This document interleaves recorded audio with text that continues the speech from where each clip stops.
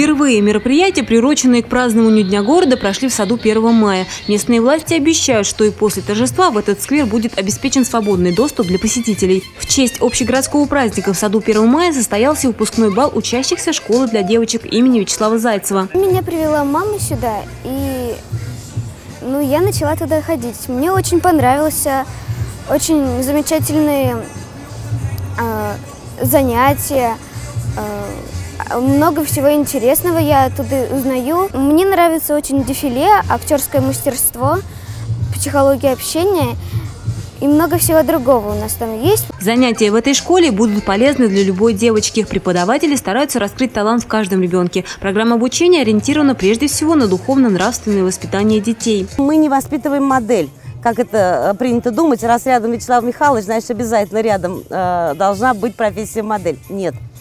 То есть это школа для всех девочек. Мы даже не проводим кастинги, потому что, на мой взгляд, кастинг для ребенка – это абсолютно неприемлемая вещь. Каждый ребенок может прийти, было бы желание его и было бы желание родителей. В этом году платье девочек сшито из уникальных ивановских ситцев, подаренных фабриками специально к Дню города. Вячеслав Зайцев старается по возможности каждый год приезжать в Иваново, чтобы оценить успехи подрастающего поколения. Давно сложившаяся традиция принимать участие в торжествах, посвященных Дню города. Выпускной бал-парад школы для девочек, как правило, совпадает с этим знаменательным для областного центра событием. Я считаю, что очень здорово. За год очень большие успехи сделаны. Первый поменялся образ, поменялся стиль, очень здорово.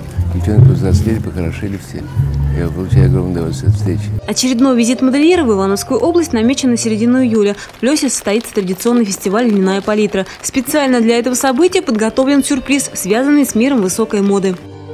Любовь Почерникова, Андрей Семиволков, РТВ Иваново.